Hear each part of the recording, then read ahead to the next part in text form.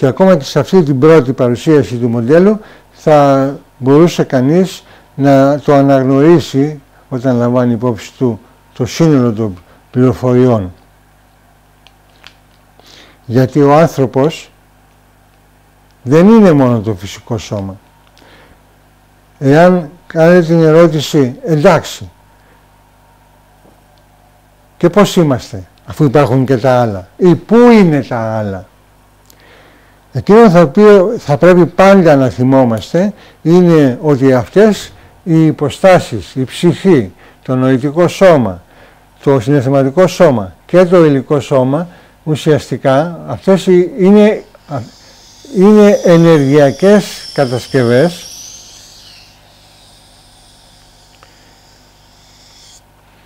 Είναι όλες μαζί και αποτελούν ένα ενεργειακό αυγό το οποίο είναι γνωστό σαν ε,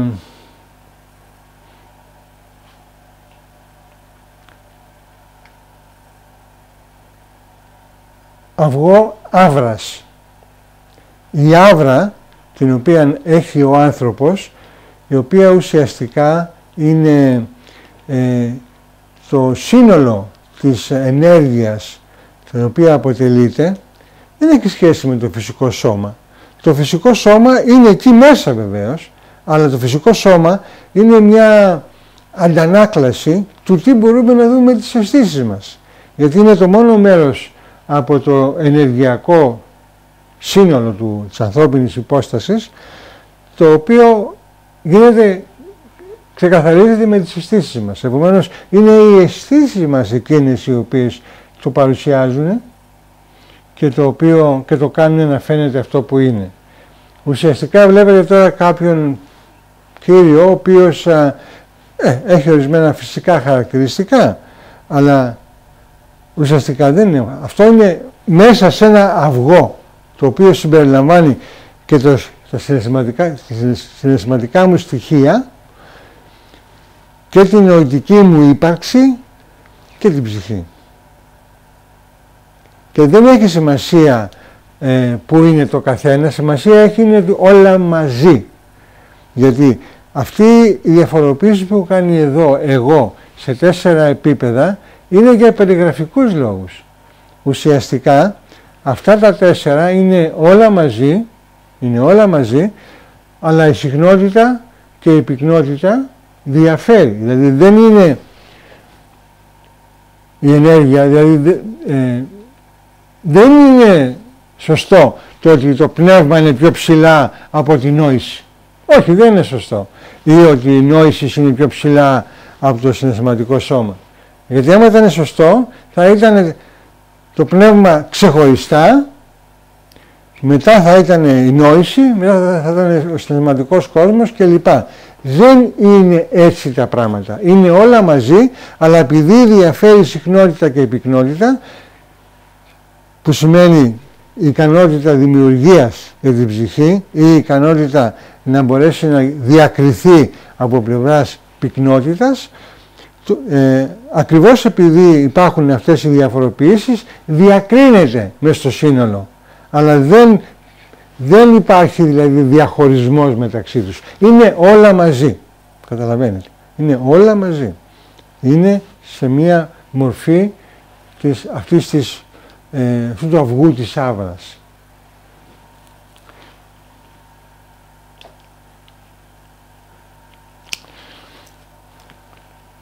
Λοιπόν,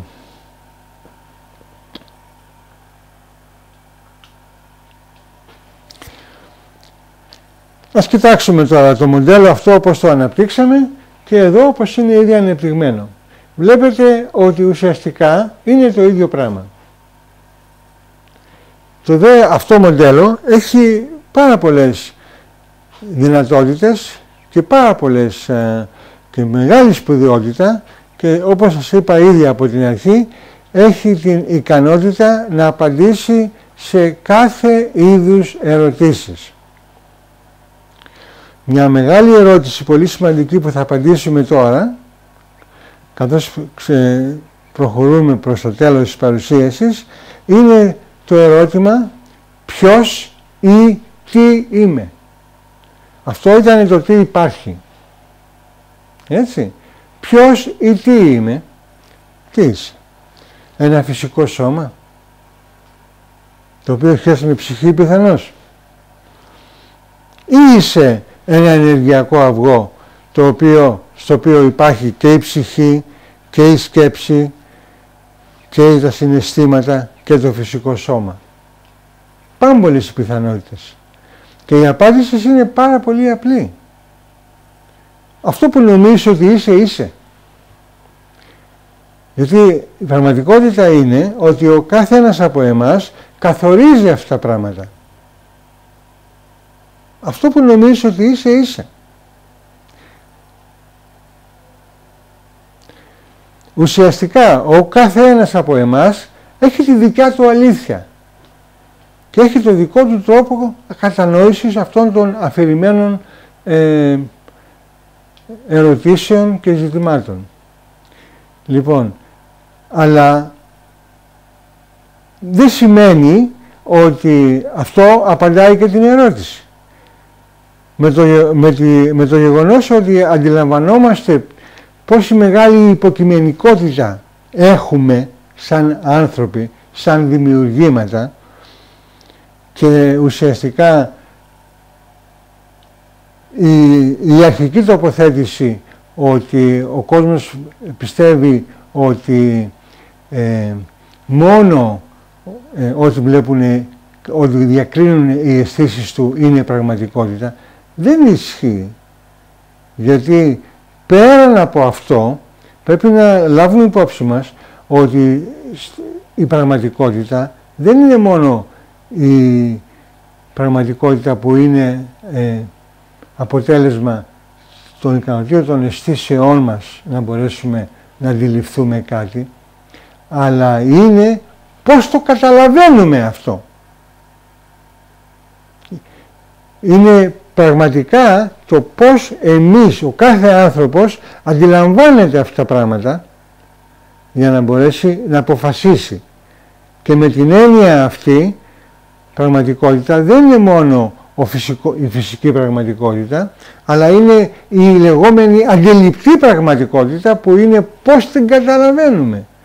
Προσέξτε, αυτή τη στιγμή σας υποδεικνύω με το πώς την καταλαβαίνουμε ότι προτού φτάσουμε σε σημείο να βγάλουμε ένα συμπέρασμα υπάρχει μια νοητική εργασία η οποία ε, ενεργοποιείται και βάσει της οποίας αποφασίζουμε τι ακριβώς θέλουμε, τι ακριβώς νομίζουμε και τι ακριβώς πιστεύουμε ότι είμαστε.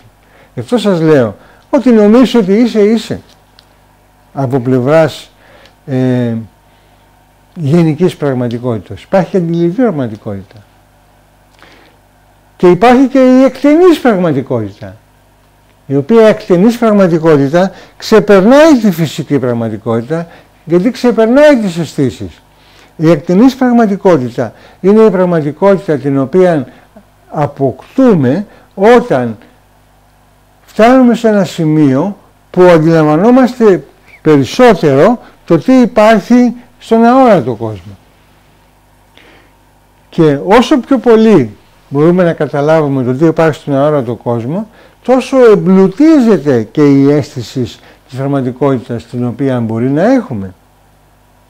Άλλωστε, η ίδια η επιστήμη ε, διακηρύττει περίτρανα ότι ε, από το ότι υπάρχει στο σύμπαν με τη φυσική η οποία εφίσταται σήμερα μπορούμε να εξηγήσουμε μόλις ένα 4%. Τα άλλα 96% δεν υπάρχουν. Υπάρχουν, αλλά είναι μέρος του αόρατου κόσμου. Είναι πέραν από τις ικανότητες των αισθήσεών μας να μπορέσουμε να τα πλησιάσουμε. Χρειάζεται κάποια, κάποιος άλλος τρόπος, κάποιος νοητικός τρόπος για να το αντιληφθούμε. Και ξαφνικά αρχίζουμε και μπαίνουμε πλέον στη δυνατότητα που έχει ο άνθρωπος να ξεπεράσει τις αισθήσεις του και να χρησιμοποιήσει τις λεγόμενες ψυχικές αισθήσεις και να κάνει χρήση εξωαισθητηριακής αντίληψης. Έχουμε λοιπόν την πραγματικότητα που βασίζεται πάνω σε αισθήσεις μας, έχουμε στην αντιληπτή πραγματικότητα, η οποία είναι θέμα κατανόησης και μετά έχουμε την εκτενή, στην οποία η αντιληπτή πραγματικότητα πλέον χρησιμοποιεί και έξω αισθητηριακή αντίληψη. Είναι μια άλλη αντίληψη αυτή, πολύ βαθύτερη και πολύ πιο εκτενής. Και αυτήν την πραγματικότητα σπουδάζουμε στη μεταφυσική. Αυτή την πραγματικότητα σπουδάζουμε και προσπαθούμε αργά αλλά σταθερά να τη ε, σχεδιαγραφήσουμε και να μπορέσει ο κάθε άνθρωπος να αποκτήσει μία προσωπική αντίληψη του τι είναι, χωρίς να μπορούμε ακόμη να δώσουμε φυσικές αποδείξεις για τους λόγους που ήδη εξήγησα. Πάντως, ε, σχετικά με το ποιος ή τι είμαι, το ποιος είμαι είναι καθαρά υποκειμενικό. Αλλά η απάντηση στο τι είμαι βάσει της ε, βάσει της μεταφυσικής σκέψης μπορεί να είναι πάρα πολύ καλά καθορισμένο. Και αυτό στα, στα βιβλία, τα οποία μελετούμε αυτή την εποχή, είναι φανερό. Θα σας πω μερικά λόγια για το τι είμαι. Ήδη ξέρουμε ότι εκείνο το οποίο είμαι έχει σχέση με ένα φυσικό σώμα, με το νοητικό σώμα, με, ε, συγνώμη, με το συναισθηματικό σώμα, το νοητικό και την ψυχή. Η ψυχή, η ψυχή, η οποία έχει την ύψιστη συχνότητα, με άλλα λόγια, εκείνη είναι εκείνη η οποία έχει την ικανότητα της δημιουργίας, είναι πάρα πολύ σημαντική στην απάντηση του τι είμαι. Η ψυχή απλά απλά χαρακτηρίζεται από τα εξής στοιχεία. Πρώτα απ' όλα είναι εκείνη η οποία, προσέξτε θα σας πω τώρα, έχει την πρόθεση της δημιουργίας, αποφασίζει να δημιουργήσει. Εντάξει. Ψυχή είναι μέρος από μία πνευματική υπόσταση που είναι μια υπόσταση πέραν από εμάς και η οποία ε, δημιουργεί κάθε είδους δημιουργήματα ας πούμε πως ε, ε, έχει την φιλοδοξία και ασχολείται με ανθρώπους ή με ανθρωποειδή δεν είναι απαραίτητα να είναι μόνο άνθρωποι. Λοιπόν τα ανθρωποειδή, οι άνθρωποι χαρακτηρίζονται από μια συγκεκριμένη συνειδητότητα. Η συνειδητότητα ουσιαστικά είναι μια πάρα πολύ πυκνή έννοια, δεν ξέρω αν είναι καλή ιδέα να την πούμε τώρα, αλλά οπωσδήποτε όμως ε, είναι μια έννοια πάρα πολύ όμορφη και πολύ σημαντική.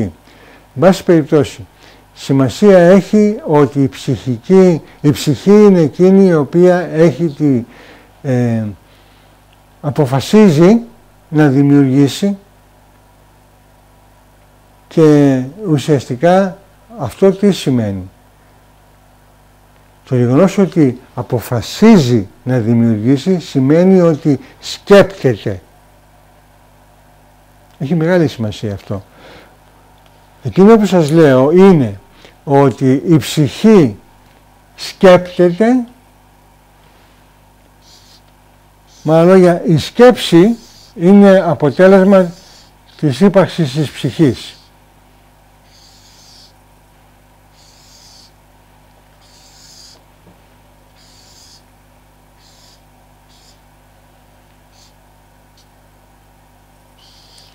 Και δεν είναι μόνο η πρόθεση την οποία, της δημιουργίας την οποία, η οποία δείχνει ότι η ψυχή σκέπτεται, πρέπει να λάβετε υπόψη σας και το γεγονός το ότι ε, σε όλη τη διάρκεια της εμπειρίας της δημιουργίας υπάρχει και ένας κοσμικός νόμος που λέγεται ελεύθερη βούληση. Η ελεύθερη βούληση είναι δικαίωμα και ανήκει στην, στην ψυχή. Η ψυχή σκέπτεται. Είναι χαρακτηριστικό στις ανατολικές φιλοσοφίες ε, δύο άνθρωποι ε, χαιρετιόνται με τον Αμάστε. Το Αμάστε βασικά σημαίνει το πνεύμα μέσα μου χαιρετάει το πνεύμα μέσα σου. Αυτοί οι άνθρωποι δηλαδή από χιλιάδες χρόνια το αναγνωρίζανε αυτό το πράγμα. Ότι μέσα μας υπάρχει πνεύμα, η ψυχή και είναι η ψυχή η οποία σκέπτεται και η ψυχή είναι εκείνη η οποία αποφασίζει. Πολύ σημαντικό αυτό. Ασκεί την ελεύθερη βούληση. Αυτά τα δύο πηγαίνουν μαζί.